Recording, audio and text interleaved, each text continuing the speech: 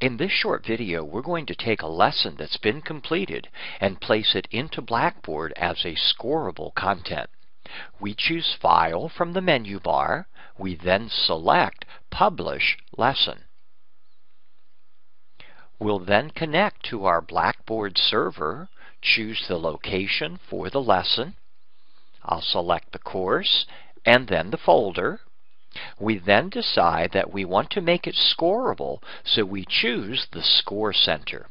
We can enter the name for the lesson. We can enter the number of attempts we would like our students to have for taking this lesson, and it can be any value from 1 through 10, or we can leave it at unlimited.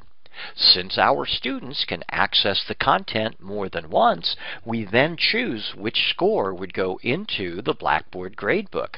Should it be their first attempt, or their most recent or last attempt? Should it be an average of all of their scores, or their highest score?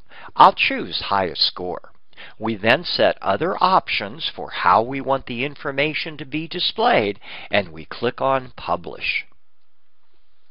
This is now taking our content and publishing it into Blackboard. In a few seconds, we'll be able to see that our lesson has been published. We click OK. We see where the lesson is located, and that's it. Thank you.